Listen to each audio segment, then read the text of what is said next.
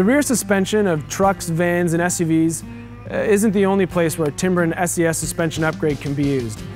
Vehicles with heavy loads on the front need some TLC as well. One of the most popular uses for our front axle suspension upgrades is for vehicles equipped with snowplows.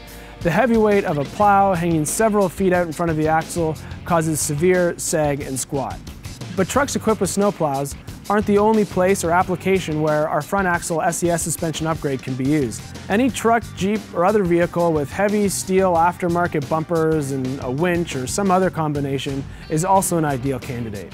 Those heavy aftermarket accessories can add up to some serious weight and can cause a lot of front end sag and squat to your suspension. Install an SES suspension upgrade and get rid of the sag.